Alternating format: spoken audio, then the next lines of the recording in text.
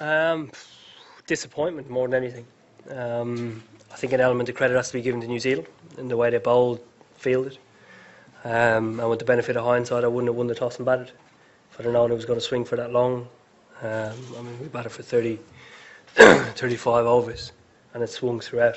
And they, they managed to build pressure in between the times it didn't swing as well. So, again, credit goes to them.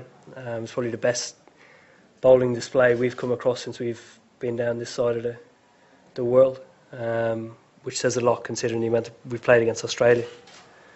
Um, but today we couldn't we couldn't cope with it. They outperformed us.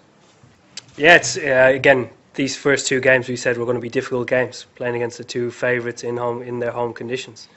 But we sh- we shouldn't be beaten by this this amount. There's no way. Um, maybe today we were we were outskilled, but certainly the first game we played against Australia, we were way below par. We're not doing our basics right. We're not reproducing what we practice. Um, and again, uh, we envisaged uh, the foreseeing, I don't know, um, future of having lost your first two games, but not by this amount. Um, and it, I mean, we can still make the quarterfinals. Um, the sooner the better we start winning and getting momentum in, into the next games. I certainly agree that we have to turn things around quickly. Um, as I said, we need to start winning games of cricket um, in order to gain momentum to get to the quarters and semis and so on. So I'd agree with that side of it, yeah.